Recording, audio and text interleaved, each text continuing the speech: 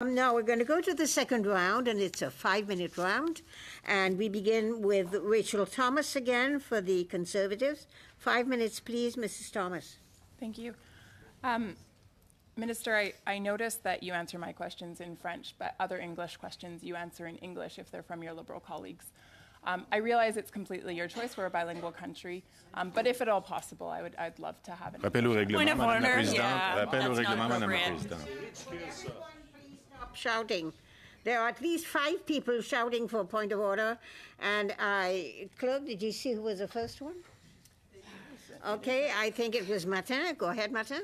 Madame la Présidente, je n'ai pas besoin de vous rappeler et de rappeler à ma collègue que euh, nos, invités, comme les membres de ce comité, peuvent s'exprimer dans la langue officielle de leur choix. Nous avons un service d'interprétation extrêmement efficace. J'ai l'occasion de le vivre régulièrement. Alors, je pense que la ministre a tout à fait le droit de répondre dans la langue de son choix. Euh, c'est- insultant pour les Québécois, présentement, ce que j'entendais pour les francophones. Merci.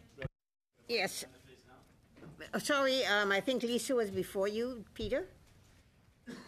J'avais le même appel de, à, à règlement. Je ne pense pas qu'on peut lui demander de parler dans une langue de- ou l'autre. Peter?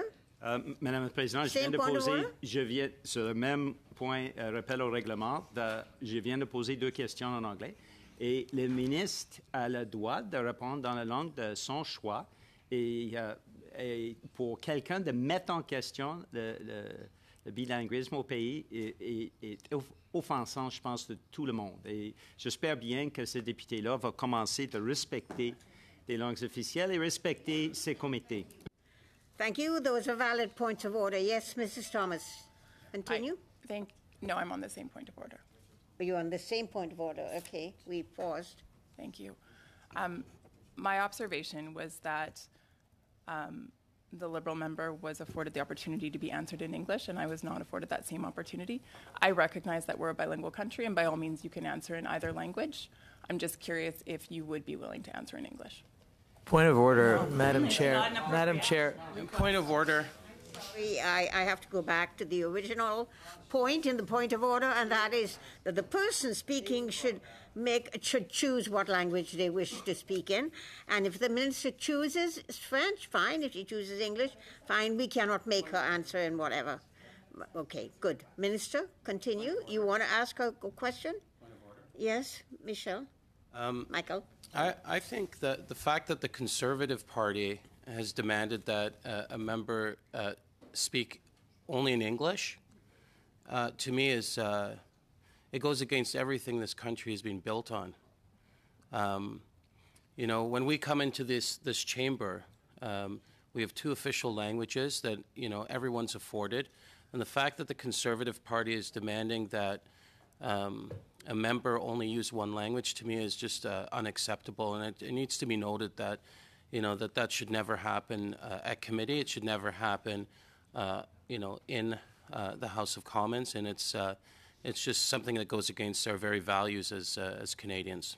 Thank you. Thank you, Mr. Coteau. I think I, I highlighted that when I responded earlier on that it is a valid point of order and the minister can answer in whatever language she chooses. Mr. Noormohamed, is this something new or are we Uh, it going is, over it the is, it is something new on, on related matter.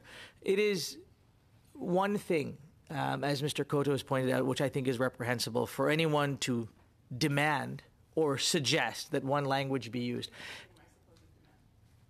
Are already clipping your demand? That's great. Can I, if I might finish what I was going to say?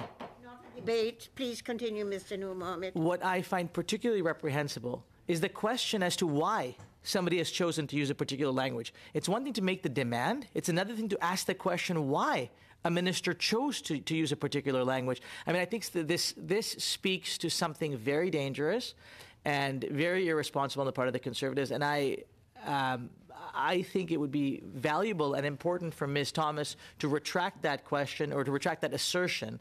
Um, because I think it is in the interest of all of us in this room that we not have to play silly games around the use of our official languages. All right, to get back to the Peter.